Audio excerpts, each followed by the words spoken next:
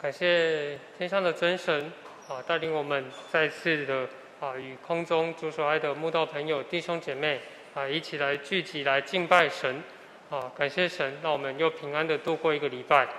啊！这个礼拜啊，有风有雨啊，也有疫情有瘟疫啊，我们能够平安聚集在这里敬拜神，是何等大的恩典啊！今天小弟啊，想要借由圣灵的带领。与圣经的教导，与大家一起来学习的题目是“大能的勇士基甸”。啊，大能的勇士基甸啊，这个称号并不是啊谁来取的啊，这个称号啊是主耶稣亲自来称基甸的啊，是神亲自来认可基甸啊，他是一个大能的勇士。那基甸做了什么事情？对神这样的认可呢？啊，我们今天就要从四世纪当中啊，基甸的事迹当中来学习啊，三点啊，基甸所做值得我们来学习啊，也是他被称啊，小弟啊查考啊，认为他被称神称为大能勇士的三个啊原因。好，我们呃一样先请来看四世纪。第六章，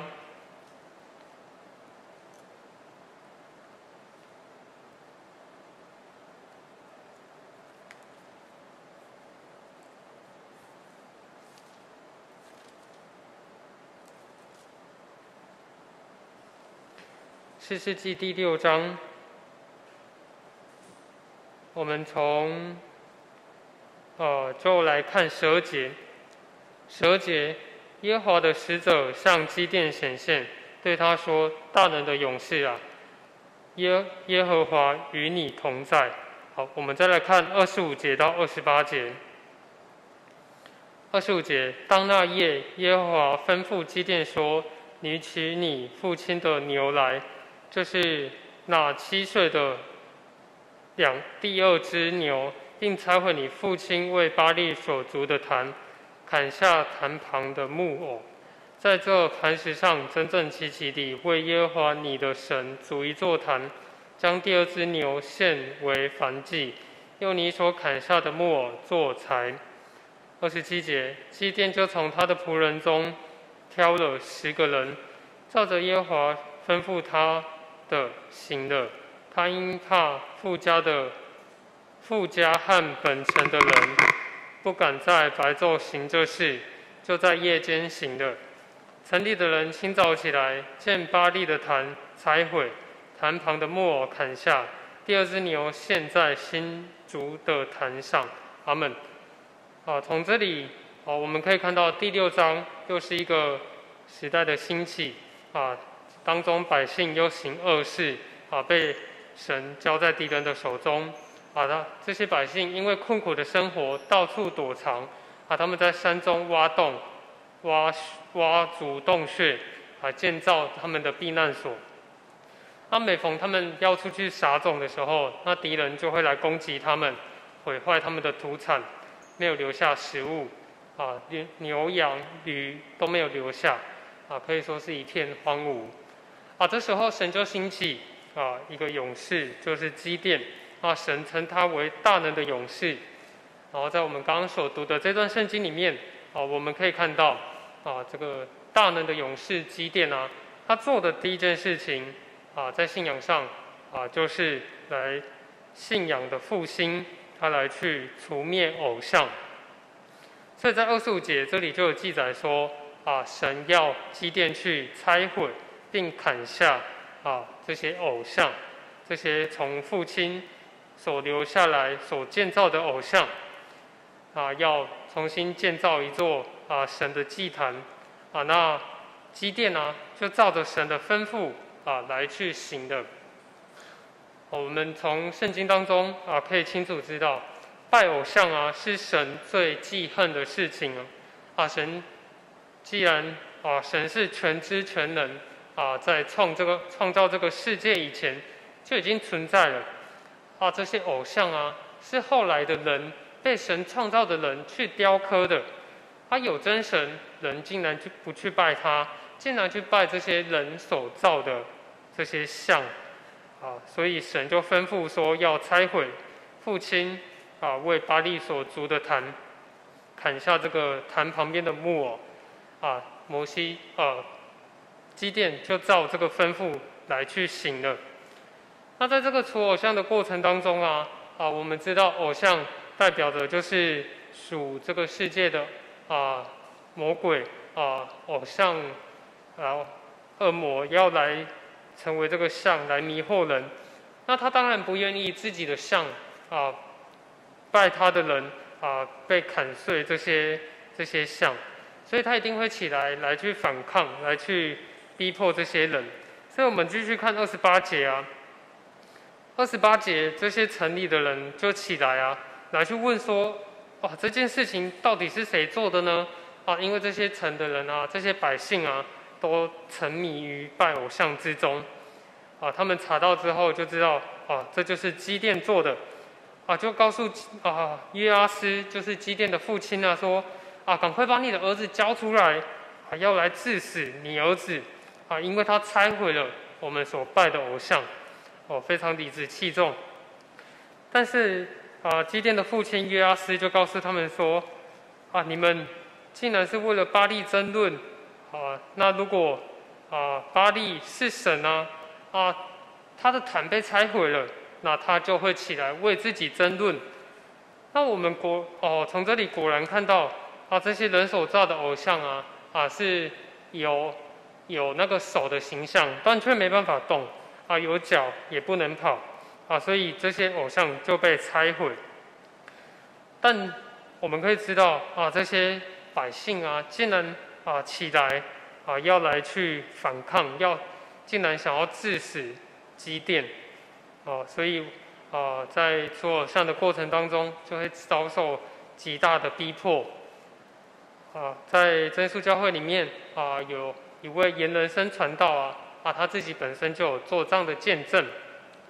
啊，就是他在过去注目土库教会的时候，他有一天去访问信徒的时候啊。他发现他们家的外墙啊，竟然画了三尊啊非常大的偶像啊，那他就非常难过啊啊，自己的白啊自己的信徒啊啊，竟然会去来画这些偶像啊，因为是传道人，所以他也非常清楚知道啊，真神是非常忌邪的啊，是圣洁的啊，那行这些事情啊，是得不到神的悦纳啊，画这些像啊。那就是等于是给魔鬼啊留了地步，啊也是啊成为跟魔鬼一伙的，但是啊他没有立马啊去做责备，他先去了解到底发生什么事情，啊那去询问这个信徒之后，啊听他的解释，才知道哦原来隔壁的邻居啊啊是一个家邻的祭坛。啊，那要把祭坛设在他们家的隔壁，那种私人的祭坛，那设在他们隔壁不打紧啊，而且还要来去在他们的墙壁上涂抹油漆，啊，说要来帮他们涂抹油漆，啊，看起来好意思要涂抹油漆，但没想到竟然是画了啊三尊很大的偶像，那传道就历史的跟这个信徒讲说啊，啊我们。来信这位真神的人，啊，墙壁上啊不可以画神明的偶像。但是啊，虽然他们想要清除啊对方啊这些祭坛的人呢，却说要等他们办完法会啊，需要再等一年啊。但是啊，怎么可能容忍在这一年呢？所以传道经过跟坛主妈妈的沟通啊。这个坛主的妈妈虽然同意说要把偶像除掉，但是过后啊，这个坛主竟然找了一帮啊凶神恶煞的人啊，要来打传道他们一行人，包含那些信徒。但那时候传道已经有请啊教会执事啊，还有打电话有报警，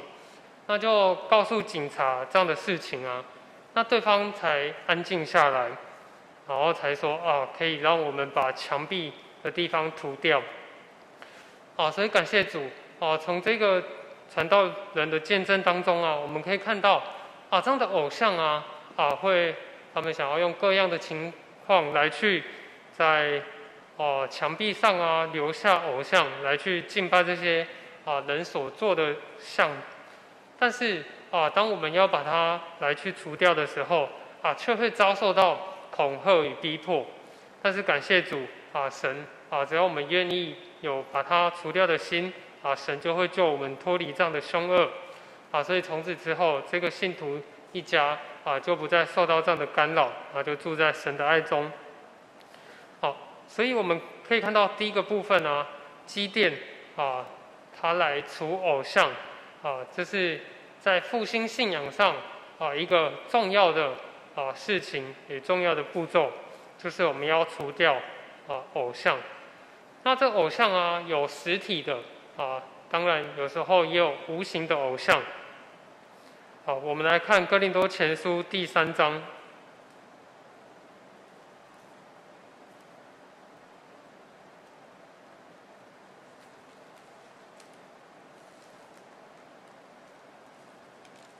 请看《哥林多前书》第三章十六节。十六节，岂不知你们是神的殿吗？神的灵住在你们里头吗？没有人毁坏神的殿，神必要毁坏那人，因为神的殿是圣的，这殿就是你们。阿门。哦，从这里呃，圣经上告诉我们，啊，我们就是神的殿，啊，我们都是神啊的救恩拣选，啊，我们啊是圣洁的，啊，这个殿啊是圣的。那如果我们毁坏了这个神圣的殿的话，啊，神也要毁坏那一个人，啊，所以既然我们就是神的殿，那神的殿里面岂能存留啊设立偶像呢？啊，意思就是我们的心中啊，啊，岂可来存留啊一些偶像？啊，什么是偶像呢？啊，我们知道有形的偶像。啊，是我们看得到这些啊人所造的啊人所设立的偶像啊，但是有形的偶像啊，人啊可以轻易的分辨出来啊，也比较容易防备。但是无形的偶像啊，它迷惑人是更厉害的啊，也是更难防范的啊，常常就让我们啊不小心堕落在这个其中啊，迷失了方向。啊，所以在旧约时期啊，何西阿先知啊，神的先知啊，就来去责备百姓啊，因为这些百姓拜偶像啊，他们啊，这样拜的偶像啊啊，不是只有那些像啊啊，这个先知就用各样的类比方式说明这些东西啊，就是他们的偶像啊，因使他们心不受约束。我们来看《何西阿书》第四章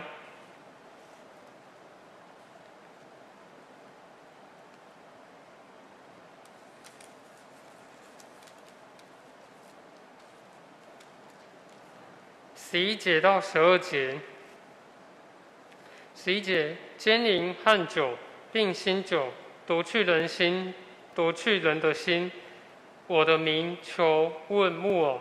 以为墓葬能指示他们，因为他们的淫心使他们失迷，他们就行淫离弃神，不守约束。他们啊，从这里可以看到啊，从啊属灵的观点啊啊，奸淫啊、酒啊、啊木偶啊啊，一切啊啊，能够替代神啊，使人离去啊，来去追求的。啊，或者是在使人在无知的情况下，啊，使人被迷惑来屈从，啊，让内心里面呢是被逆神的啊，啊，这些啊其实就都跟拜偶像啊是相似啊是一样的事情，所以我们简单来讲啊，把它归类啊就是财啊财产势力啊啊色情欲啊。骄骄傲啊，把自己当做就是神啊之类的啊，都是内心无形的偶像啊，它都会使我们远离神啊。这也是我们啊今天啊要更加防范的事情啊，所以基甸所做第一件事情啊，就是在信仰上的复兴啊，要来除掉偶像。那对于我们现今啊的基督徒来说啊，不管是有形的偶像，或者是内心啊无形的偶像，我们都要靠主来把它除灭啊。主所吩咐的啊，我们就。照主所吩咐的来去行，如同积电一样。好，再来第二项啊，为什么积电会被称为大能的勇士？啊，我们可以看到，因为有神的灵在他身上。我们来看四世纪第六章。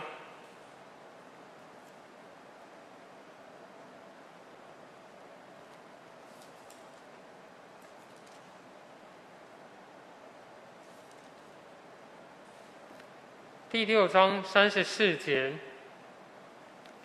三十四节，耶和华的灵在基甸身上，他就吹角，亚比以谢族都聚集跟随他。阿门。哦，从这里可以看到，啊，神的灵啊，降临在基甸的身上。啊，在我们谈到俄陀涅誓师的时候，同样也有谈到。啊，神的灵降临在俄陀涅身上，啊，兴起俄陀涅，俄陀涅就拯救啊百姓脱离啊敌人的手，啊，所以从这里可以看到，基甸同样有神的灵降在他身上，啊，这个灵啊是受到神的差遣啊的这样的一个亲自差派，啊，代表有神的权柄，啊，是神的印记，啊，代表是领受。啊，从神来的能力，那这个能力啊，啊，就是从神而来的啊，所以不是啊靠自己能够胜过的。啊，是因为神的能力、神的灵加添。啊，所以啊，我们可以看到基甸啊，他就来去啊攻破敌人。啊，基甸的敌人呢啊是非常强大的。啊。如果不是神的灵帮助，是靠人到底呃呃是无法想象到底怎么攻破的。啊！敌人啊有十三万五千人啊，这个数目啊，圣经上形容就好像蝗虫一样多啊，就跟骆驼啊一样啊，他们的骆驼是无数的，就好像海边的沙一样啊，所以对比机电呢啊，他吹。号角所招募的总共是啊三万啊两千人啊，这样子来稍微算了一下啊，机电的人数啊跟敌方啊的人数差了啊快四倍啊，但是啊用人的想象，这个四倍我们会想要去攻打吗？啊，已经差了四倍啊，如果用人的角度啊。我们从《孙子兵法》上啊，大概可以有一个参考值，就是啊，他说到进攻方啊，通常要是守守方人数的大约是三倍啊，像是守方如果是一万人，进攻方啊就要有啊三万人啊，所以这样子相差的四倍啊，其实是比想象中的啊还要多的，因为。啊，基甸他们是进攻方，啊，而且他们是长期贫穷啊，在当时啊都被欺压啊，他们的人员的素质啊，啊吃都吃不暖，啊吃都吃不饱啊，穿都穿不暖，那他们的武器啊跟敌方比起来啊也是相差一大截。可是在这个时候啊，神却害怕他们说啊不是，神却恐怕他们打胜仗啊就自夸自大。啊，竟然啊，再透过一些方法啊，要让啊这些人数在精简啊，就后来啊，透过一些方法啊，就是要来去筛选啊，那就告诉他们说啊，如果有人惧怕的啊，就回去啊，所，所以后来发现啊，其实很多人是勉强而来的啊，这个三万两千人当中啊。啊，有许多人是勉强的，啊，他们是非常惧怕的，啊，所以这些人呢就回去了一些，啊，只剩下一万人。那这个一万人呢，跟敌方哦差距的倍数越来越大，相差了十三倍。可是基甸呢，仍然是顺服的。啊，神啊，仍然觉得这样的人数太多了。啊，最后啊，再筛了一次，啊，就是不够谨慎的，用手捧水的，啊，就把这些人来去筛去，啊，筛了大约九九千人，啊，所以，呃，九千七百人，所以后来只剩下三百人，啊，整个军队啊，只派出三百人，啊，跟敌方的十三万五千人啊。差了整整的五百倍，哇！这样的兵力悬殊啊，用人的角度啊，是如果是我们，我们敢踏上战场吗？啊，要是我们，我们敢去打吗？啊，所以啊，刚刚说到的用《孙子兵法》的计算啊，啊，攻方是守方的要三倍兵力，那如果这样再稍微计算一下，啊，三百人对比上啊，再把敌方乘以三倍。啊，这样子算一算啊，啊是二点二万倍，啊，意思是他们三百人啊要对付啊，大约就是一个人要对付二点二万人，这样的啊数字啊，用现代战争来讲是很难想象，极难想象的啊。用现在的人角度，这么不对称的兵力啊，不是秒杀就是屠杀。但神跟基甸说什么啊？啊，基甸就照样去行。啊，所以基甸呢，就看到神的应许。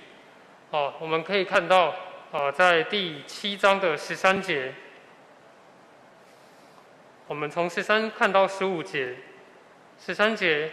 基甸到了，就听见一人将梦告诉同伴说：“我做了一个梦，梦见一个大饼滚入米店营中，到了帐幕，将帐幕撞倒，帐幕就翻转倾覆了。”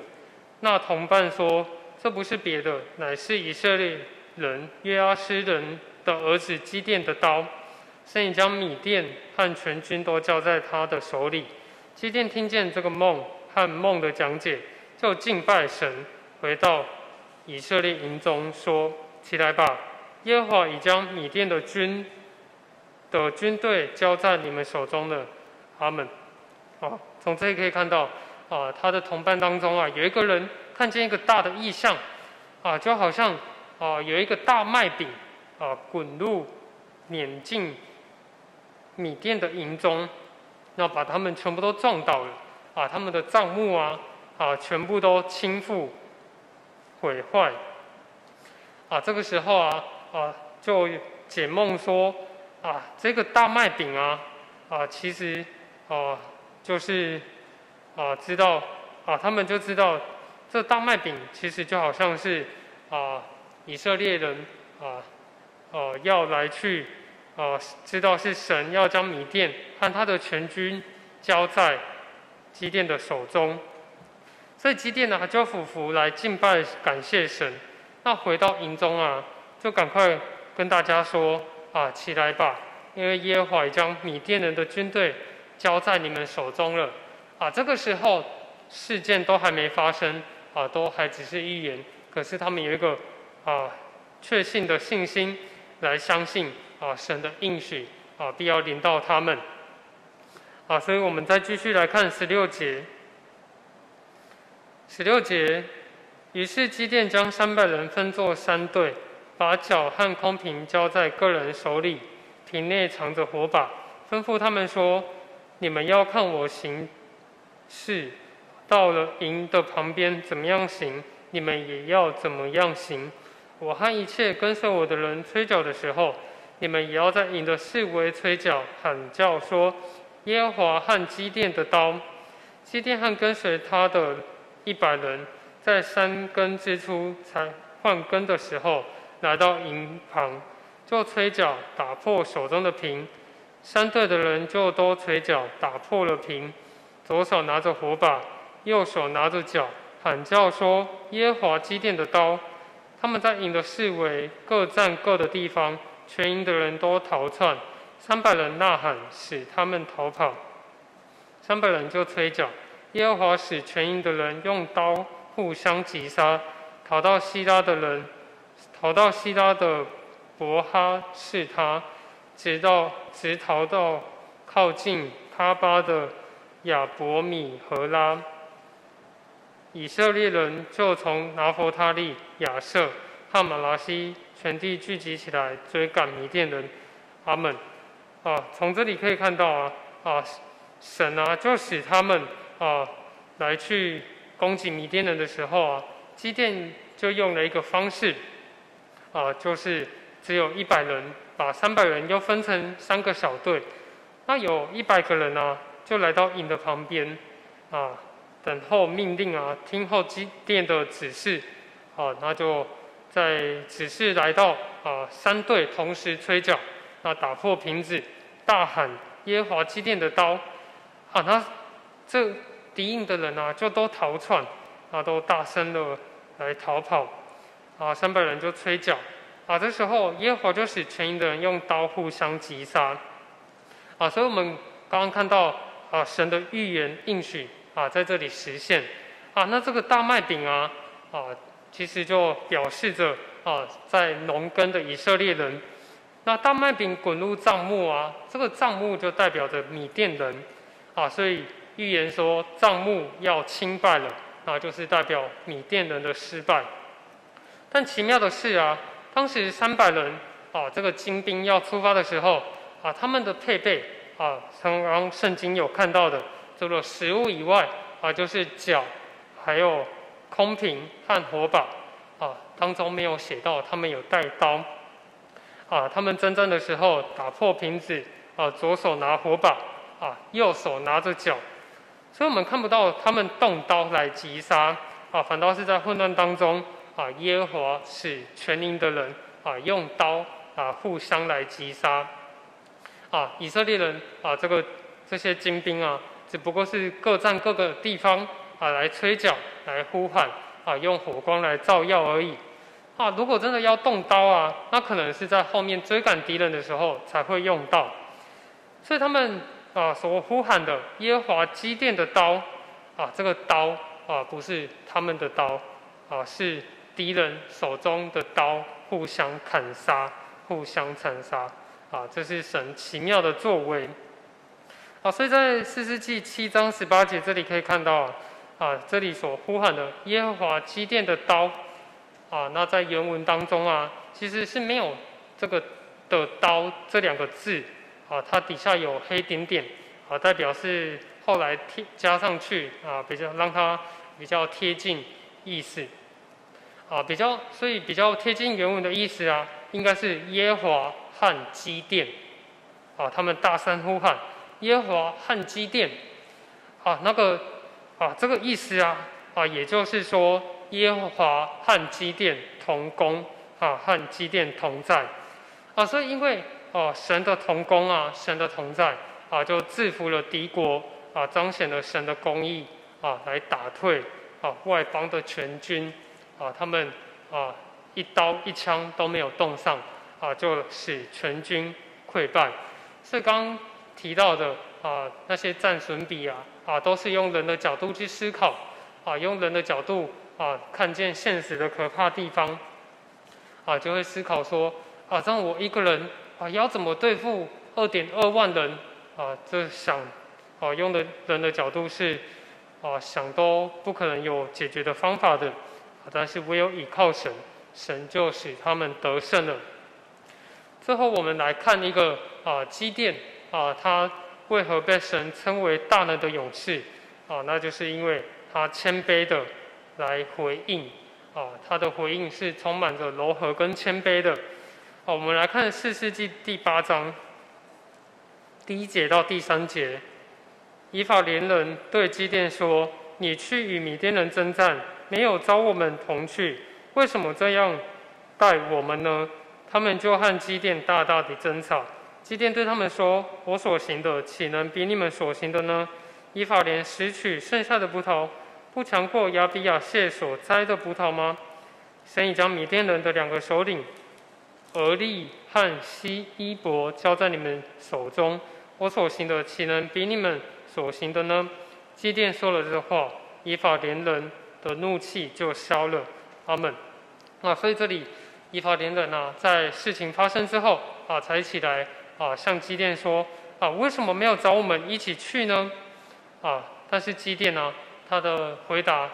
啊，非常的柔和啊与谦卑啊，可以从他的回答啊，知道基甸有一个中心的思想啊，就是他清楚知道这个功劳啊不在他身上。所以他非常谦和，他回答了两次，啊，重复了两次。那我所行的，岂你岂能比你们所行的呢？啊，他意思啊，他就是清楚知道，啊，自己根本算不得什么，啊，自己所做的啊，算不得什么，啊，一切都是从神来的。但是啊，他知道以法莲人是找茬，啊，他们啊，为了想要争功。所以啊，他心里虽然知道这一切都是从神来的，但也没有再跟他们争论了。啊，这时候依法连人的怒气就消退了。所以在箴言的十五章第一节啊，啊，就来告诉我们说，啊，回答柔和的，使怒消退；言语暴烈，哦，触动怒气；言语暴力，触动怒气。所以啊，可以看到基甸啊，他的回应是充满着谦卑。啊，与将，呃，不来争取这个功劳。啊，在另一个地方，我们也可以同样啊，知道他有这样啊谦卑的心。啊，四世纪第八章二十二节，我们来看四世纪第八章二十二节、二十三节。二十二节，以色列人对基甸说：“你既救我们脱离米甸的手，愿你和你的儿孙管理我们。”基甸说：“我不管理你们，我的儿子也不管理你们，唯有耶和华管理你们。”阿门。啊，从这个时间点、这个角度来看，啊，基甸的回答啊是非常谦卑的。啊，他知道百姓啊啊想要立他为王，但他明白啊自己做王啊是不合神心意的，所以他就拒绝啊以色列人的拥戴。啊，这时候他还非常清楚，啊，这些啊战争的胜利啊，啊不是从他手而来的，啊这些百姓啊却没有搞清楚状况啊，啊到底是谁出手拯救？啊这些百姓竟然啊认为是基甸啊拯救他们，啊百姓有些百姓虽然亲身经历过战争。但却迷糊或忘记了神在战争中所扮演的角色，啊，真正的拯救者啊是神，啊不是事实，啊刚刚所提到的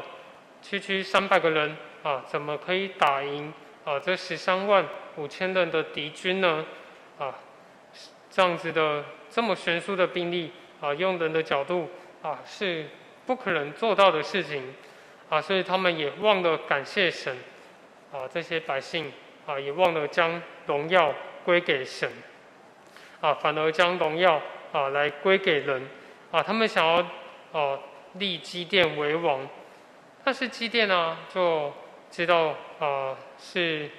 啊是神才能管理他们，